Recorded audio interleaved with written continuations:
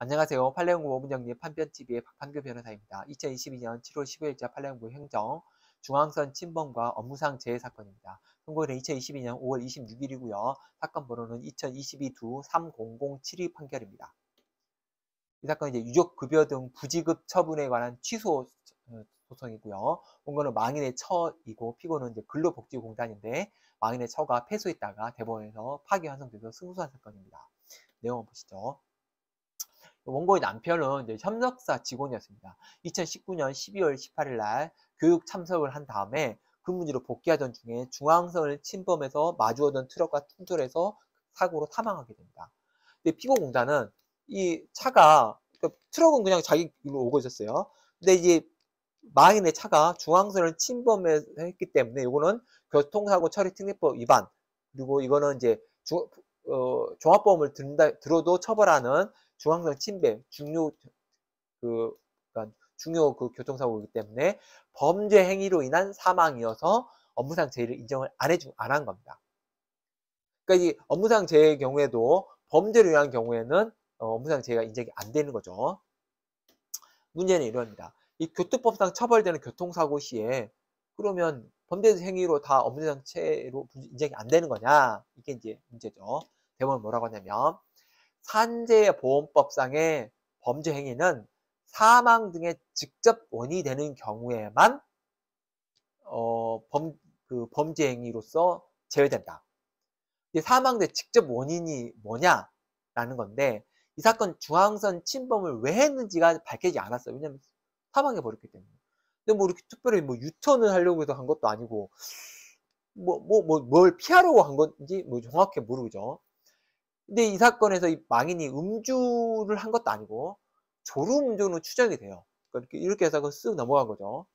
그렇다면 그리고 망인은 실제로 92년에 면허 취득한 이후부터 법규 위반이나 사고 경력이 전혀 없어요. 그렇다면 이 사건은 졸음 운전으로 추정될 수도 있다라는 거죠. 그렇다면 업무 수행에 관한 운전 과정에서 소반되는 통상적 위험의 범위다. 즉 졸음 운전의 원인이 됐고 졸음 운전으로 인해서 중앙선을 침범했기 때문에 사망한 것이지 조, 이것이 중앙선 침범이라는 범죄 행위로 인해서 사망한 것이 아니라는 거예요. 즉 졸음 운전이 중앙선 침범을 일으켰고 그로 인해 사망한 거니까 결국은 이 졸음 운전이 결국은 이제 그 사망의 그러니까 산재 보험의 그 사망의 직접적 원인이 되지 이 중앙선 침범 요거는 어, 산재 문제는 사망 내 직접 원인이 될 수는 없다는 겁니다.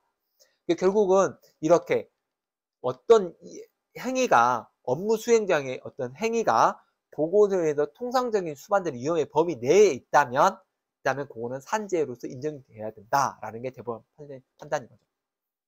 결국 만인의 그 사망으로 수사가 안 됐습니다. 사망으로 공소공 없음으로 끝난 거죠. 중앙선 침범의 원인이 불분명하고 원심은 어떻게 판단했냐면 의도와 관계없이 중앙선 침범은 중대한 법규 위반이기 때문에 그 범죄 행위로서 어, 산재가 안 된다라고 판단했는데 어, 대법원은 의도 부분이 명확히 밝혀지지 않았기 때문에 그리고 이거는 졸음력 가능성이 높다. 따라서 이것이 어, 명백하게 그런 중앙선 침범을 하는 범죄 행위로 인한 것인지 아닌지는 다시 따져봐야 된다는 겁니다. 이런 그 유사 사례가 되게 많을 거예요. 그러니까 범죄 행위라고 딱 사망을 했는데 범죄 행위로 된 경우. 근데 만약에 이제 이게 사망 사고 아니라면 명확히 밝혀지겠죠. 이게 중앙선 침범한 이유가 뭔지.